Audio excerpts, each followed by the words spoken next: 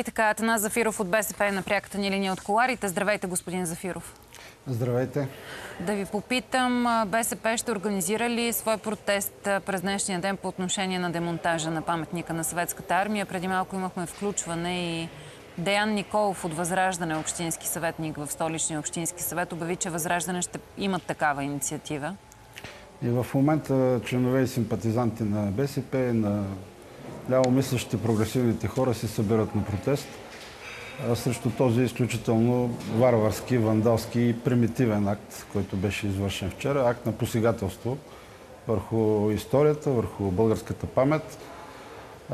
Акт, който ще срещне наистина ожесточената съпротива на всички мисля, прогресивно мислещи хора в България и в света, защото ние ще информираме и нашите международни партньори за това, което се случва, тъй като вчера станахме свидетели на едно изключително грубо посегателство върху историята, върху антифашистската борба. Държа да кажа, че това не е просто посегателство върху един паметник. Това е посегателство първо върху български паметник, защото това е български паметник с български автори, част от българската история. Отричайки участието на съветската армия в победата над фашизма, ние отричаме и участието на тези близо 100 хиляди български войници, които взеха участие в заключителната фаза на войната. Сега, господин Зафиров. Близо 30 хиляди от тях оставиха своите кости по полетата на Унгария, Сърбия, Австрия. Господин Зафиров. И направиха така, че, да, да, приключвам, но само да кажа, с това участие направиха така, че България да излезе без териториални загуби от тази а, Втора световна война и участието и в първата фаза на страната на хитлеристка Германия. С този акт вчера ние отрекахме и тяхната памет. Сега аз на тема история няма да споря с вас, нито ще влизам в тази дискусия, обаче, понеже казвате, че ще уведомите а, и европейските ни партньори за това, което се случва, за този недопустим според вас акт, а, има европейски държави, които са си демонтирали и преместили на друго място паметниците а, от различни периоди от историята. В случая става въпрос за демонтаж заради необходимост от реставрация. Впоследствие този паметник се казва, че няма да бъде унищожен, а най-вероятно ще попадне в музея за, за социалистическо изкуство. И питам, какъв е, какъв е, каква е целта на този ваш протест, при положение, че той демонтажа си тече и ще се случи? Вижте, първо по тази логика мога да кажа, че много европейски държави не направиха демонтажа на тези Но има такива, които са го направили. И те си стоят в центъра на Виена, например. Има такъв паметник, добре поддържан и уважаван. А, само, че когато говорим за демонтаж, а, нека да видим на какво станахме всъщност свидетели. Ние станахме на един вар... свидетели на един варварски акт на нарязване по един брутален начин, който показва, че не е имало никакви намерения за демонтаж, а има просто един а, опит и едно намерение за нарязване и унищожаване на този паметник, а чрез него, както казах, и на, и на част от а, нашата история и нашата памет.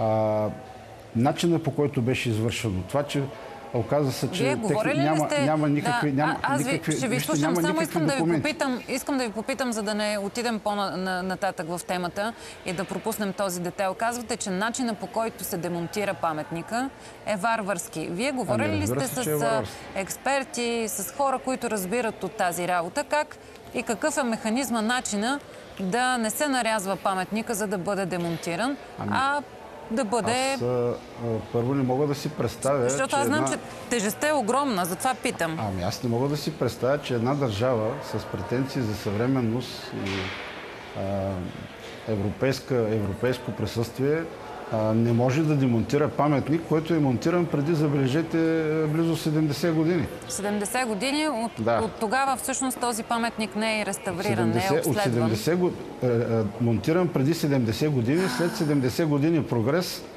българската държава няма техника, която да направи един цивилизован Дайте демонтаж, пример, как може ако да се, се стигне до демонтаж. Вижте, е, този въпрос ще го зададете на компетентните органи, но те първо трябва да дадат отговор защо техниката, защо която беше изпратена... начин, значи техниката, друг. Която, имам информация, че техниката, която беше изпратена вчера, беше без необходимите документи.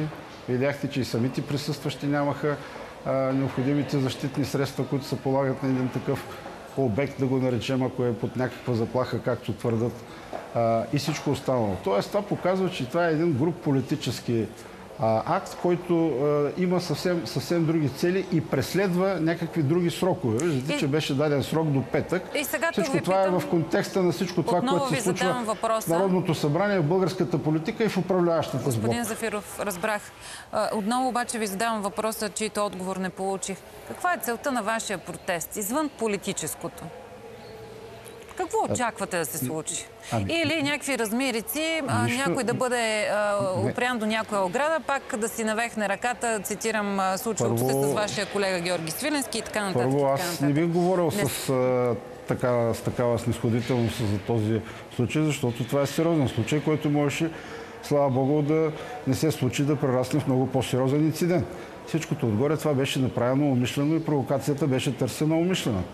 А, Така да, ама като се правят тези не бих, аз протести, не бих неглижирал, всъщност, не бих неглижирал това, друго което се случи е да вчера видим? и факта, че български народен представител беше агресиран от служител на областна управа. Но това е друга Господин тема. Ние Свиленски ние каза, че ще се- ще си ние търси правата в съда. Да, да, ние сме Да. е, алармирали По-скоро съответните се органи. по-скоро се чудя какво различно очаквате от случилото се вчера. Всъщност единственото, което вероятно ще се случи е нова провокация. от това, което сме правили през всичките тези години.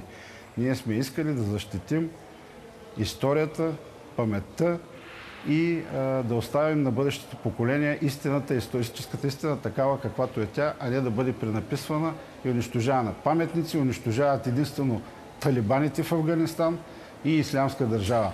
Това са организациите, които унищожават паметници. Имам И един когато- последен въпрос към вас и то е следния.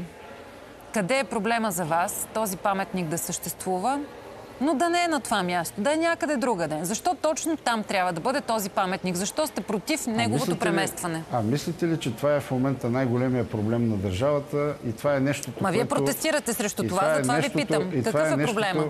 Това е нещото, което трябва да, а, да бъде на, на, на, на дневен ред и с това да започва и с това да свършва дневния ред на управляващата сглобка.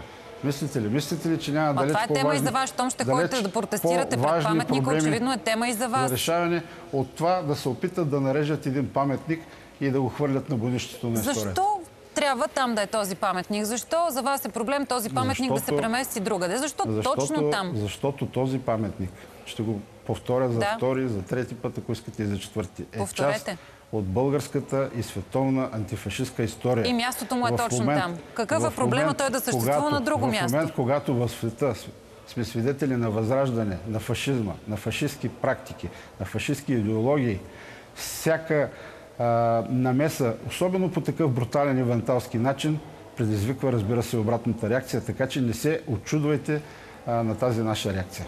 Какво очаквате да, да постигнете с този протест на място? Да спрете демонтажа, да се случат допълнителни провокации, подобни на вчера? Между другото, изобщо мен- не говоря снисходително за колегата ви е, Георги Свиленски. Надявам се бързо да се възстанови и слава Богу, че не сме станали свидетели на нещо Да. по-голямо е. като сблъсък. Но Благодаря просто ви. се чудя, наистина се чудя.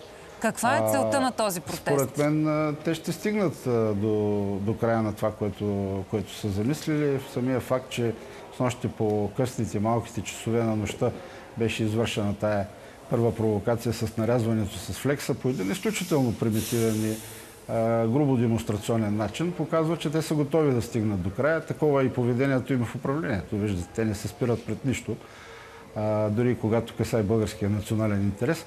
Така че аз не очаквам те да бъдат разколебани и неспрени, но очаквам българското общество да проумее ясно и този път видимо, що за хора в момента управляват страната. И в Но- частност столичната община.